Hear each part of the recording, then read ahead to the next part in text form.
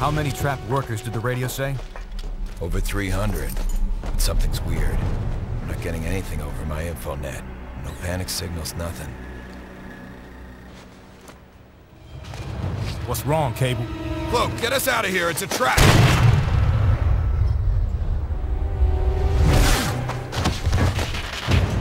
Of course it's a trap. How else were we gonna get you all in one place? Skybird 1, is the area fully cordoned? Roger, perimeter sealed.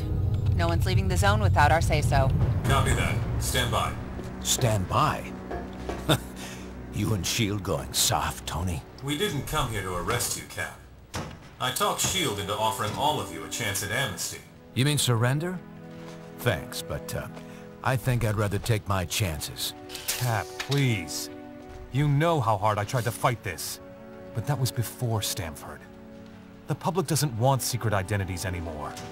Registration is the only way to make them feel safe when we're around. Just give me a chance to tell you our plans for my 21st century overhaul. You've got five minutes. That's all I'll need. What the hell?